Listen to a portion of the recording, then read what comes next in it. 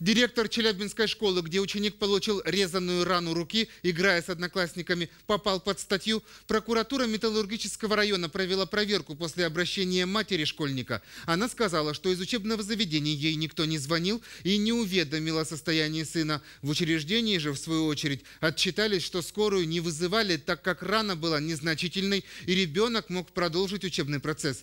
Теперь руководители образовательного учреждения попали под административную статью.